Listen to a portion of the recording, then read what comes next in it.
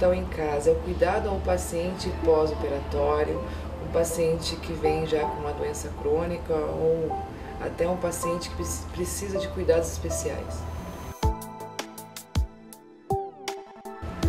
Hoje, os convênios vêm nos indicando para uma pós-hospitalização. Hoje nós cuidamos do paciente que foi hospitalizado durante meses, dias ou até semanas. Nós fazemos esse cuidado pós-operatório também, como já tinha falado. Levamos o paciente em casa e fazemos o acompanhamento dele durante algum tempo.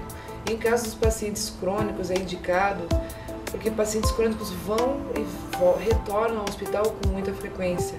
Então, nós fazemos esse acompanhamento do cuidado com ele, indicado às vezes pacientes ficar 24 horas de cuidado, 12 horas, 6 horas, depende de caso a caso. A indicação vem de, pelos médicos hospitalares, que vem nos, nos indicam quando o paciente tem que ir a home care.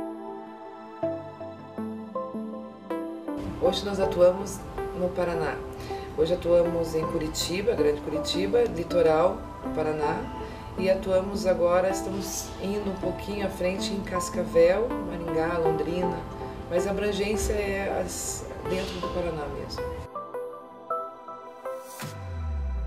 Hoje a rede pública não atende, ele tem um serviço parecido, mas não hoje exatamente home care, não. Atendemos somente privado e convênios.